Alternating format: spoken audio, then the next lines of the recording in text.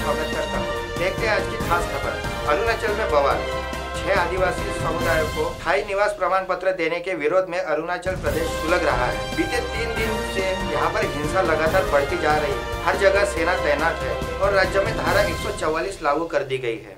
PRC मतलब स्थायी निवासी प्रमाण पत्र के मुद्दे पर अरुणाचल प्रदेश में विरोध प्रदर्शन जारी किया है। प्रदर्शनकारियों ने भीषण हिंसा का स्वरूप ले लिया है। रविवार को प्रदर्शन की हालत इतनी खराब हो गई थी। प्रदर्शनकारियों ने प्रदेश के उप मुख्यमंत्री चौना मेन का घर भी जला दिया। केंद्र और राज्य सरकार की ओर से हालात काबू करने की कोशिश जारी है, लेकिन लगातार हालात बेकाबू होते जा रहे हैं। पुलिस फायरिंग में दो लोग की मौत हो गई और जबकि कई घायल अवस्था में हैं।